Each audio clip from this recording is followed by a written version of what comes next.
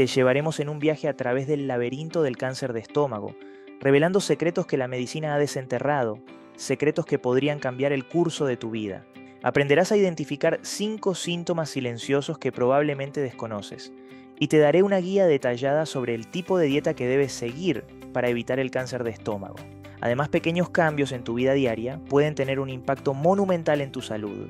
Dale like, suscríbete y prepárate para descubrir conocimiento que podría salvarte la vida. Comencemos. Los casos globales de muerte por cáncer de estómago han aumentado alarmantemente en los últimos cinco años. Muy pronto, alrededor de 1.800.000 personas serán diagnosticadas con esta enfermedad cada año y aproximadamente 1.300.000 morirán por ella. Solo en Asia Oriental, cerca de 500.000 personas mueren cada año a causa del cáncer de estómago, siendo Mongolia, Japón, Corea del Sur, Tayikistán y China los países con la mayor incidencia en el mundo. Sin embargo, gracias a la medicina y la tecnología, Japón y Corea del Sur no aparecen en la lista de los 10 países con más muertes por cáncer de estómago por año.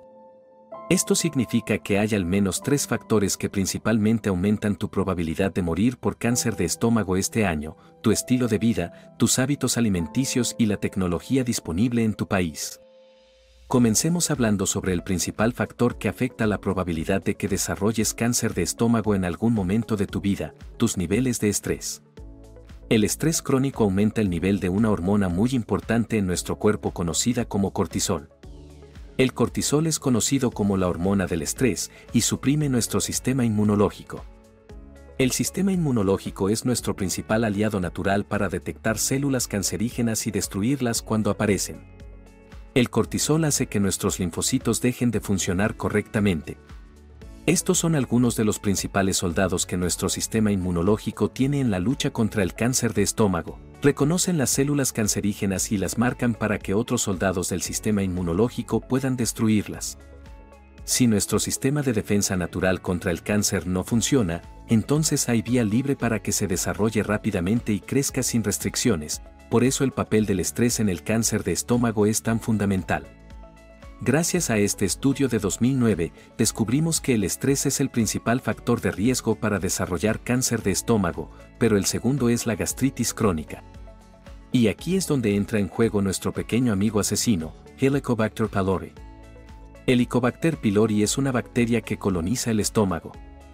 Este bicho provoca inflamación crónica de la mucosa gástrica, es decir, gastritis crónica. La gastritis crónica conduce a alteraciones en las células del estómago, provocando que muten y se proliferen y, con el tiempo, se desarrolle cáncer.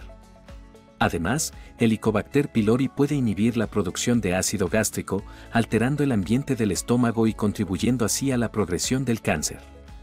Y ahora conoces los principales factores de riesgo en personas sanas que no tienen cáncer en ningún otro sistema de su cuerpo. Pero, ¿qué hay de tu estilo de vida y dieta? Este estudio encontró que las personas que duermen menos de 6 horas o más de 9 horas al día tienen un 50% más de riesgo de cáncer de estómago que aquellos que duermen entre 7 y 8 horas al día. Además, las personas mayores de 60 años, los hombres, los fumadores activos y las personas con sobrepeso y obesidad son los que tienen mayor riesgo de morir por cáncer de estómago. En cuanto a la dieta, las personas que más mueren por cáncer de estómago son aquellas que consumen regularmente alimentos salados y procesados, aquellas cuya dieta se basa en carne roja procesada, las que raramente comen frutas y verduras y aquellas que beben más de tres vasos de alcohol al día.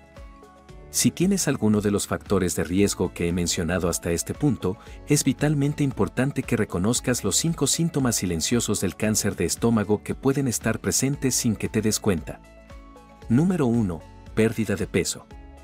En medicina lo llamamos pérdida de peso no específica.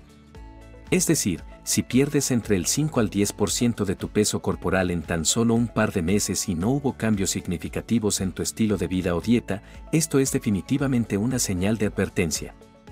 En el caso de una persona que pesa 70 kilos, esto representa una pérdida de 3.5 a 7 kilos. Número 2. Dolor abdominal persistente. El dolor de estómago por semanas no es normal.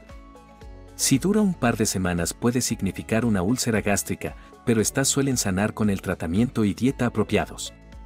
Si tienes un dolor seco, constante en el fondo de tu estómago por más de dos semanas, definitivamente debes consultar a tu gastroenterólogo ya que puede ser cáncer de estómago. Número 3. Saciedad temprana. Si últimamente has estado comiendo menos porque tu apetito se agota a mitad de tu plato, es hora de visitar a tu gastroenterólogo. No es normal que de un momento a otro y sin restricción consciente, nuestro cuerpo sienta menos hambre o se sacie más rápido. Si antes fácilmente comías un plato entero de comida e incluso querías repetir, pero ahora te llenas con solo la mitad del plato, deberías prestar atención a lo que tu estómago te está diciendo. Número 4. Hematemesis o melena. Hematemesis es sinónimo de vomitar con sangre y melena es sinónimo de heces con sangre metabolizada. Si has vomitado sangre o tus heces son muy oscuras, probablemente es sangre metabolizada. Esto no se verá rojo cuando vayas al baño, por el contrario, tus heces se verá muy oscuro. Si esto sucede, significa que algún órgano en tu sistema digestivo superior está sangrando y deberías ir al gastroenterólogo. Número 5 pero no menos importante, dolor al tragar. Hay tumores del estómago que pueden encontrarse cerca del faringe. Si te duele al comer, puede ser una señal de que la comida está entrando en contacto con el tumor y la irritación a este está causando dolor. Ahora, es normal que la faringitis o la gripe te den dolor que dura unos días. Pero si tienes dolor al tragar por semanas, es hora de ver a tu médico. El tratamiento del cáncer de estómago es tema de otro video, ya que es necesario cirugía. Pero lo que podemos hacer es enseñarte cómo reducir el riesgo de contraerlo de manera muy significativa. Lo primero que debes hacer es encontrar una manera de lidiar con tu estrés. Te sugiero que vayas a un psicólogo, psiquiatra, medites, lleves un diario y leas libros de crecimiento personal. También puede que tengas que cambiar de trabajo, habla sobre este tema con tu terapeuta, tu principal causa de estrés tienes que eliminarla, es eso o tu vida. Segundo, deberías evitar comer alimentos procesados. Cero snacks de ahora en adelante, no más snacks, no más embutidos y jamones procesados del supermercado, no añadas sal a tu comida, no comas alimentos ahumados o a la parrilla de madera. Aumenta tu ingesta de verduras y vegetales y basa tu dieta en carnes blancas como el pollo y el pescado. Tercero, deja de fumar y beber alcohol. Esto se explica por sí mismo. Por último, duerme mejor. Dormir demasiado poco causa cáncer y dormir demasiado también causa cáncer.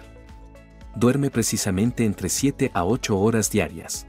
Al cerrar este capítulo sobre cómo defendernos de un enemigo tan sigiloso como el cáncer de estómago, es imposible ignorar que cada decisión que tomamos, cada bocado que comemos y cada noche que descansamos estamos escribiendo el guion de nuestra propia salud. Pero te invito a considerar otro aspecto de bienestar aún no explorado, que puede revolucionar cómo funciona tu cuerpo, promoviendo una salud mejorada y una vida más larga a través de un método antiguo validado por la ciencia moderna. Este método, que implica la abstención deliberada de alimentos, ofrece una oportunidad para redescubrir y optimizar nuestra relación con la comida y nuestro cuerpo. Te animo a acompañarme en este viaje hacia una comprensión más profunda de tu salud y bienestar, preparándote para descubrir el potencial oculto de tu ser. Este es solo el principio de una transformación que te llevará a lugares que nunca imaginaste. Prepárate para el siguiente paso en este emocionante viaje de salud.